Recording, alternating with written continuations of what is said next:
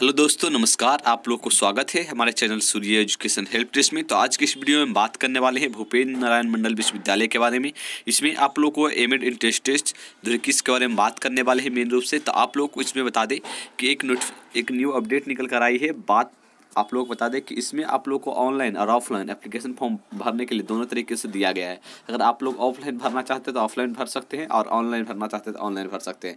आप लोग बता दें कि बहुत पहले ही इस ऑनलाइन वाले जो सेक्शन है उसको एक्टिव किया गया था, लेकिन वहाँ पर लिंक जो है एक्टिव नहीं हुआ था, जिसकी वजह से आप लोगों को हम बता नहीं पाए थे। अब इसका लिंक एक्टिव कर दिया गया है तो चलिए हम आगे बताते हैं।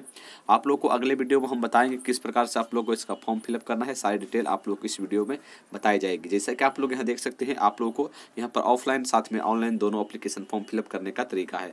और ऑफलाइन हमने बता दिया है, और ऑनलाइन इसका लिंक एक्टिवेट हुआ है। तब अब आप लोगों को बता दें कि अगले वीडियो हम ऑनलाइन भी आप लोगों को बता देंगे किस प्रकार से फॉर्म फिलअप करना है। आसानी तरीका से आप लोगों को बताएँगे तो आप लोग इस वीडियो को ज़रूर देखिएगा तो आप लोग समझ चुके होंगे कि आप लोग ऑनलाइन और ऑफलाइन फॉर्म दोनों तरीके से फॉर्म फिलअप होगा। तो चलिए, मिलते हैं नेक्स्ट वीडियो में, तब तक के लिए जय हिंद, जय भारत।